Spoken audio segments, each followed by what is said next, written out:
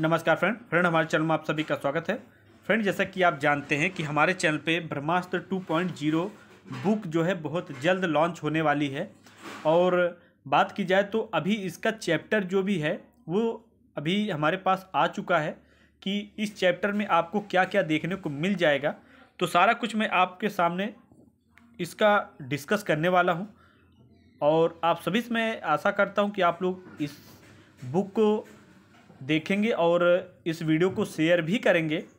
बहुत से ऐसे बच्चे हैं जो फ्रेंड तैयारी कर रहे हैं UP P C L UP आइमिनल Bihar state power holding company ALP technician बहुत सी गवर्नमेंट जॉब की तैयारी में लगे हुए हैं। अभी इसरो का आ चुका है रिसेंटली बात की जाए तो भर्ती और सीपीआर सेंट्रल पावर की जो है भर्ती आ चुकी है।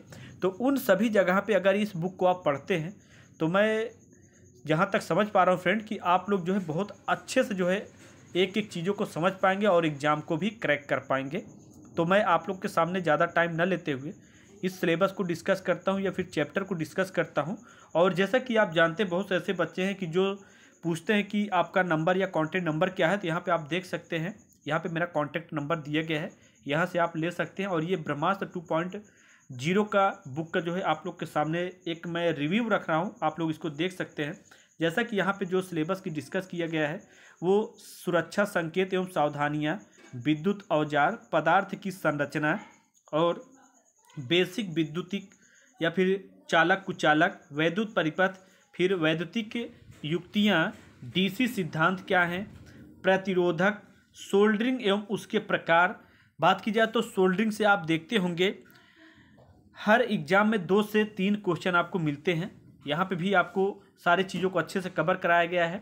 सेल और बैटरी चुंबकत्व मतलब आप कह सकते हैं, प्रेरक इंडक्टर के बारे में दिया संधारित कैपेसिटर के बारे में दिया गया है।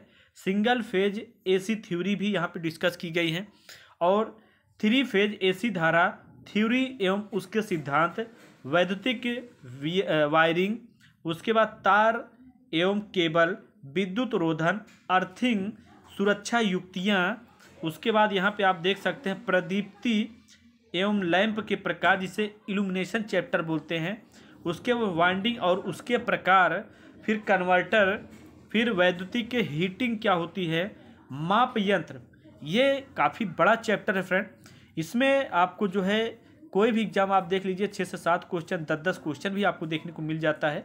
और डीसी जनरेटर, जिसे जनरित भी बोलते हैं डीसी मशीन मोटर भी यहाँ पे डिस्कस किया गया है, अल्टरनेटर के बारे में दिया गया है, ट्रांसफार्मर परिणाम मित्र के बारे में दिया गया है, सिंगल फ़ेज़ प्रेरण मोटर, थ्री फ़ेज़ प्रेरण प्रेरण मोटर, सिंक्रोनस मोटर, शक्ति उत्पादन जनरेशन या फिर वैद्युत वैद्युत शक्ति संचारण, वैद्युतिक शक्ति वितरण या फिर भार, गुणांक एवं वक्र, बेसिक इलेक्ट्रॉनिक्स, ऑसिलोस्कोप या फिर ट्रांजिस्टर, एम्पलीफायर, उसके बाद ऑसिलेटर, फिर यहाँ पे आप देख सकते हैं शक्ति इलेक्ट्रॉनिक्स, डिजिटल इलेक्ट्रॉनिक्स, एकीकृत परिपथ, घरेलू उपकरण, ये सभी चीज़ आप देख सकते हैं।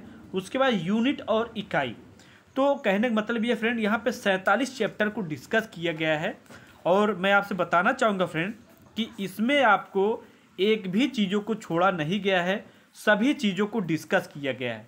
तो कहने का मतलब ये होता फ्रेंड कि इन सभी चीज़ों को अगर जो भी सिलेबस चैप्टर दिए गए हैं, अगर आप इसको सही से कंप्लीट कर लेते हैं, इसमें 2000 क्वेश्चन आपको दिए गए हैं, और 2000 क्वेश्चन में फ्रेंड वही चैप्टर वही क्वेश्चन को आपको रखा गया है कि जो एग्ज़ाम में जो है ज़्यादा इंपॉर्टेंट हो, और रिपीटेड क्वेश्चन जो है मतलब कह सकते हैं कि रिपीटेड भी हो, और आने वाले समय में भी वो क्वेश्चन आपको देखने को मिले। तो देखिए, अगर मैं चाहता तो इसको चार हज़ार क्वेश्चन भी बना सकता था। ये आप ध्यान दीजिएगा। लेकिन बच्चे की जो है बोरियत महसूस ज़्यादा होती। कहने का मतलब ये होता फ्रेंड कि एक बुक को मतलब आप कह सकते हैं कि दस बुक को एक बार पढ़ने से अच्छा है कि एक बुक को ही आप दस बार पढ़ो। कहने का मतलब ये होता है कि एक बुक को ही आप दस बार पढ़ो। मतलब कम समय में आप 2000 क्वेश्चन को अगर आप अच्छे से रट लेते हैं, पढ़ लेते हैं, समझ लेते हैं तो मैं आपको बताना चाहूँगा फ्रेंड कि आप जो है एग्ज़ाम को 100 परसेंट क्रैक कर ले जाएँगे, ये कोई रोकने वाला नहीं है। अगर आप अच्छे से समझ लेते हैं तो।